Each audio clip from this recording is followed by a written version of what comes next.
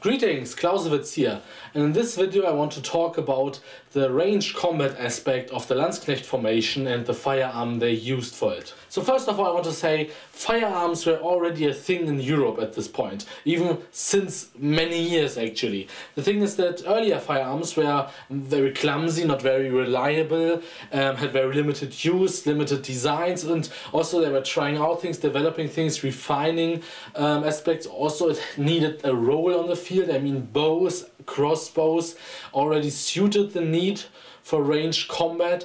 So it wasn't really, like I said, needed, but it was very often used very often maybe not the right time, but it was often enough used, so that we had record of it. The, um, in sieges, in defending fortifications, even attacking fortifications. So more stationary scenarios. But they were not the first using firearms on the field. I mean the Hakenbüchse is already um, a known used weapon which is basically the predecessor of the Arquebus and uh, Hakenbüchse just means, I'm not sure if there's really an English term for it, but Hakenbüchse means like uh, hook gun. And it's like I said very, more like a gun not has those more modern features of the arquebus later on and which would be used throughout the next centuries for different kinds of handheld firearms. And uh, they had like very um, distinctively a hook at like the end where uh, the end of the barrel basically. So they could be stabilized um, or, or placed on fortifications and so on. This is what we assume they were used for. And those weapons were already there and also used by the Landsknecht as well. Um, but then they switched very uh, swiftly towards the arquebus and this was very uh, famously used by them in their battles. Also quick to note that the Black Army of Hungary which was the private force of the King of Hungary in the late 15th uh, century also used arquebuses or even Hakenbüchsen, not sure about that, but they used arquebuses, so handheld fire weapons, in their army structure in a combined arms um, system. And this is a very interesting point actually, and I was kind of surprised to find this information that they used it before the Landsknecht basically showed up on a larger scale.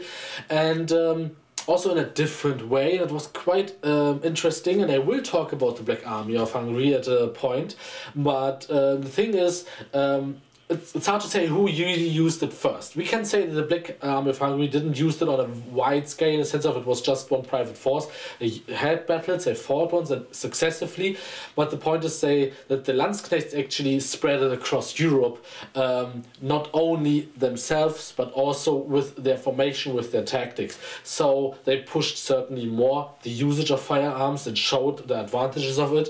Um, but like I said, there's also other systems who used firearms arms already or even simultaneously and for example the Black Army of Hungary. So the fire weapon, the firearms are basically the most distinct difference between the Landsknecht formation and the Swiss. Basically the Swiss even didn't have a real place for range combat. They were more about the uh, the charge, I like to call it, not really a classical charge, but in the sense of getting quickly uh, into melee, overwhelming them uh, the enemy there with their pikes, their halberds, other melee weapons, and very melee centric. Um, I talked about this in length in my Swiss mercenary tactics video, so check it out if you're not familiar with it or not familiar with the Swiss at all. Uh, very necessary for basically a better understanding if uh, when I talk here about the Landsknechts. So the Landsknechts used firearms like like mentioned every time here now. But the point is that how they used it. It was not in this combined force I mentioned the Black uh, the Black Army used. It was more um, a factor on its own, but they really relied on that and anticipated it and planned with it. Um, they used it as uh, it could be a force outside of the formation, maybe in a not in a real skirmisher role, but um, of course outside the formation shooting at the enemy and then retreating in the formation behind the formation where it is safe. Then maybe shoot again if they, it's possible for them maybe from a fortified higher ground or something like this. Or they would support the melee of course if it's needed it's hard to say this is definitely possible but this wasn't like their primary role. The primary role was to weaken the enemy beforehand before the formation actually engaged with them. It could, also be done like outside of the not outside the formation but basically weaved in the formation. So um, when the formations would like um, deploy on the battlefield and everything the arquebusiers could step out of the formation in an ordered manner, shoot at the enemy, and retreat in an ordered manner again so that the formation could then fight. So this can depend on the time, on the formation, on the circumstances, but like I said, the main idea is the same, weaken the enemy beforehand. This could also be very easily done with this kind of weapon. Because it was a firearm, it has a lot of power in it. So the thing is that most armor of the day could not stop it. Uh, of course, there were methods of stopping it. Later armor development in shapes or in construction wise, uh, so in the sense of how their metal worked or what kind of metal they used. But also, of course, to other means like fortifications, like some uh, types of shields, but basically it was really hard to avoid the damage firearms could do. And this counted of course for everything, even if it was just somebody who was poorly armed or equipped in general towards high knights. And therefore it was an all an all round usable weapon. It didn't matter if you would fight against heavily armored opponents or not. Um, the thing was of course it didn't have the best effective range. It had a good range, but the accuracy was very poor and very unpredictable. So basically um, you had to fight or to shoot basically on shorter ranges so that the weapon could do reliable damage. Um, they also shooted it in a, like a battery formation, so in volleys together in one formation, not only to make it more, uh, better to organize or effective to retreat and everything, but also that like one volley would really take out some guys at once, which could also be a big psychological factor, but also a good tactical factor just in having an overview what's happening, what's working, what's not working, and so on. So how this firearm really worked, I won't go into detail here. I will talk in different videos about different kinds of weapons and about um, different types in those weapons. Like for example, this kind of firearm was a smooth barrel fire, uh, firearm, not a rifled barrel like rifles were, and many firearms are today like this. So the thing is, you have just to know smooth barrel firearms really have poor accuracy, but have a good reload time and can be cleaned uh, easily, uh, so like more easy or easier than um, the rifled ones. So the thing is, they really relied more on uh, reloading fast, shooting melee volleys out,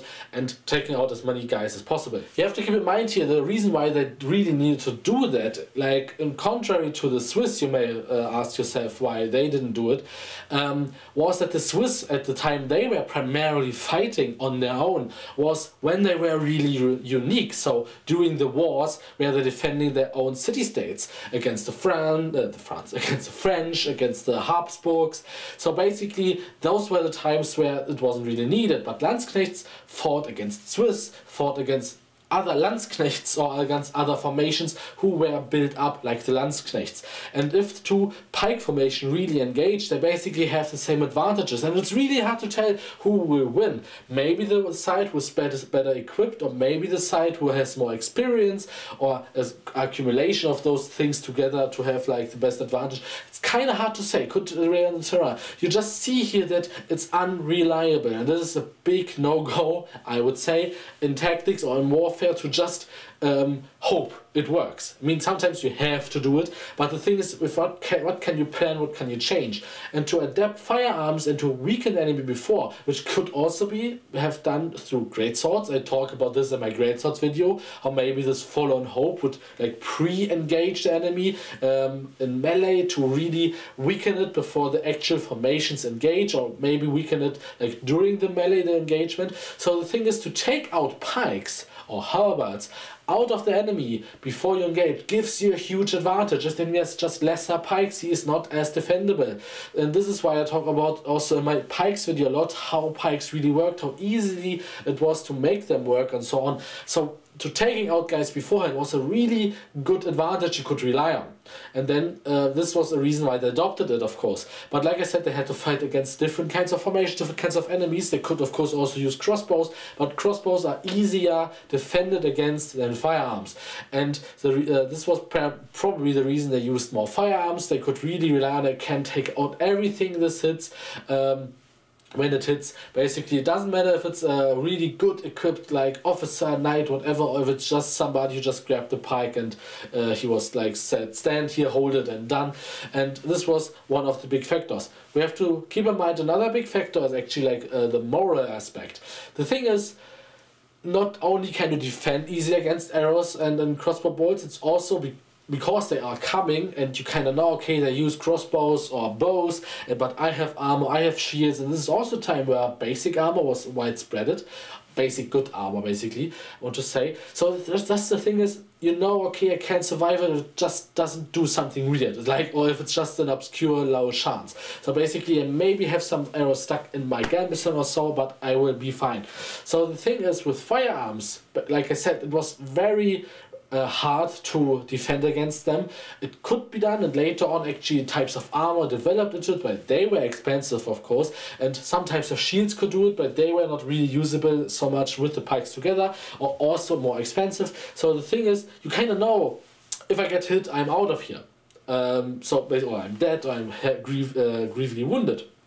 So the thing is, if you just see those smokes coming up and you hear the thundering and everything, you know, oh, this is really bad for me. So this could also lead to mercenaries to that uh, this could lead to mercenaries easier routing, uh, which could be a game-changing factor in a match. But of course, if both sides use firearms, they both has those advantages, and then it gets more into the aspect of do I want to equip my troops better, or do I adapt other tactics, use cavalry, and so on and so on.